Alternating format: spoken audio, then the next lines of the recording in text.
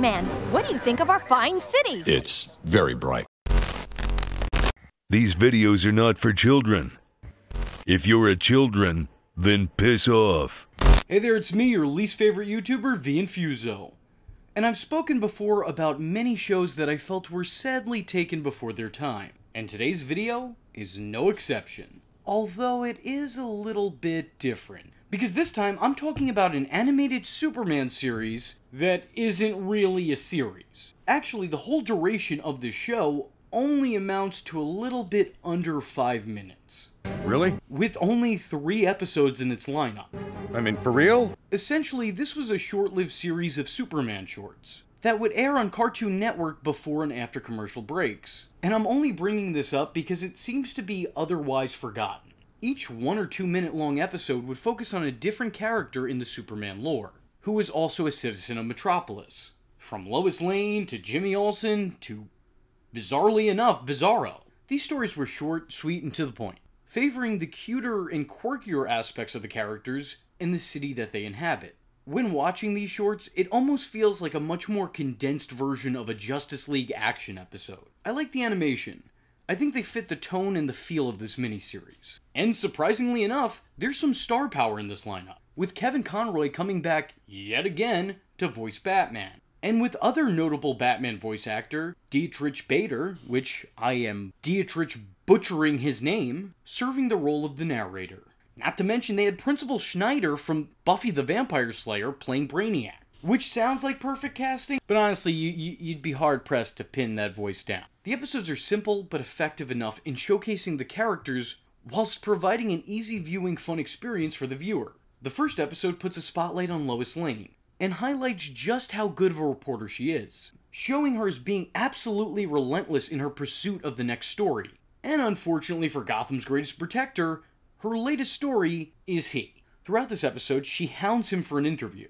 And being that he's less of a people person and more of a bat person, he's not really in a talkative mood. But then again, oh, when is he ever? Batman desperately tries to get out of the interview, but to no avail. He may be able to escape the Riddler's nefarious ways, but it seems like there's no escape from Lois Lane. She follows him around from Metropolis to Gotham City, shadowing him in his each and every endeavor. Eventually, the Bat finally gives in to Superman's squeeze and gives her an answer to every one of the questions she's hounded him about for the last 24 hours. All at once, all in order.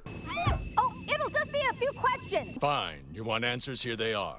Where did you get the funding for this plane? Sound investments. The jet fuel and the Batmobile. I built it. Why Batman? Do you think bats are scary? They are scary. How many Robins have there been? A bunch. Who's the scariest villain you've ever fought? The Ten Eyed Man Who's the most pathetic? and Killer Moth. There! Great. And I think this is my personal favorite episode of the three because it's so perfectly in tune with both of these characters. The second episode follows Jimmy Olsen, hard at work at the Daily Planet, complaining to Clark Kent about how needy his best friend Superman is. That is until later that same day when Jimmy is, of course, inevitably taken hostage by some random giant monster and needs Superman saving. As is tradition. Not only was this a constant trope in old school Superman comics, but even when Jimmy had his own spin off comic series, it kind of just consisted of whatever monster the writers could come up with, kidnapping Jimmy and having Superman come to his aid. You know, a lot of people call Lois Lane a damsel in distress, but they couldn't be any more wrong because clearly Jimmy Olsen is Superman's damsel in distress. The same way Robin for many years was Batman's damsel in distress. Superman, of course, shows up and in his super petty ways only saves his alleged best friend when Jimmy apologizes to him and agrees to hang out with him afterward. The final episode of this episodic trilogy follows Bizarro, entering the Daily Planet in his own secret identity, not Bizarro, which is really it's really A1. That's just that's some great shit right there. Bizarro? Uh, me not Bizarro. Me mild-mannered reporter named not Bizarro. We all know it's you. Hey, not Bizarro. When suddenly Brainiac attacks. Bizarro, looking to save the day, tries to do so by doing the exact opposite of Superman. Once again, as is tradition. At first, instead of trying to throw the Brainiac ship into the sun, he tries to throw the sun at Brainiac's ship. And when that obviously doesn't work, he just kicks it because Superman would have punched it, which surprisingly actually works. And that's really it. There's not a lot of content here, but I feel like the content that was provided was really good. I think it was animated competently, I think it was fun to watch, and I think that these interpretations of the characters, while being fun and funny, are still true to the actual characters. I love these mini episodes because they're clearly made by people who understood these DC characters. You would have to in order to properly spoof them like this. Very often do I find parodies nowadays to be very lackluster. Like the thought process now has gotten so simplistic that it's just throw this guy in a Batman mask and have him say or do some goofy shit. Yeah, that's fucking funny. Cause Batman wouldn't do it. That's funny. That's fucking funny. I can't tell you how many times in life my friends have sent me bat metal, thinking that it was going to like revolutionize my life. But I'm gonna be real with you.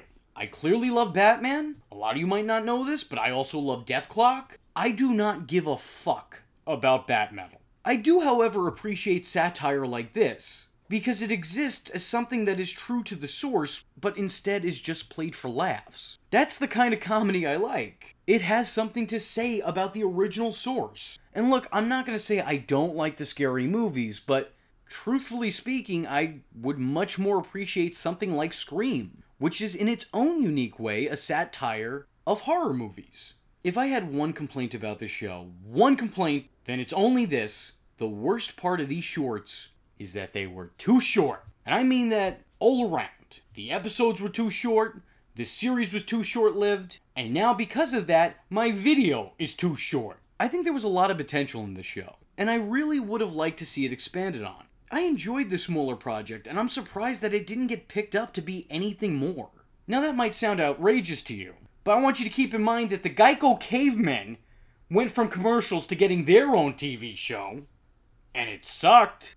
We'll get back to that later. So I don't really see why this couldn't go from an ad before a commercial break to being the show that was followed by commercial breaks. Anyway, I have to give this my highest recommendation.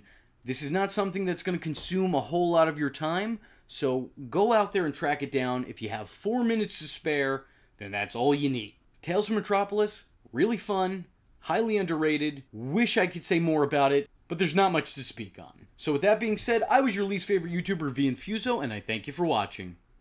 Hope to see you in the next one. I am vengeance. I am the night, and that was Vee Infuso.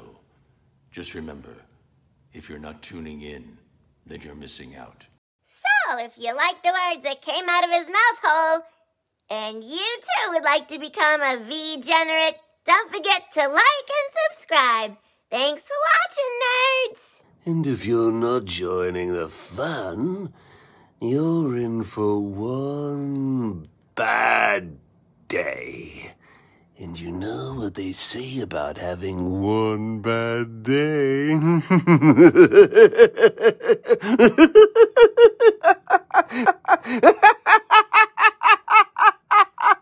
Catch him next time. Same bad time. Same bad channel. You actually did a good job.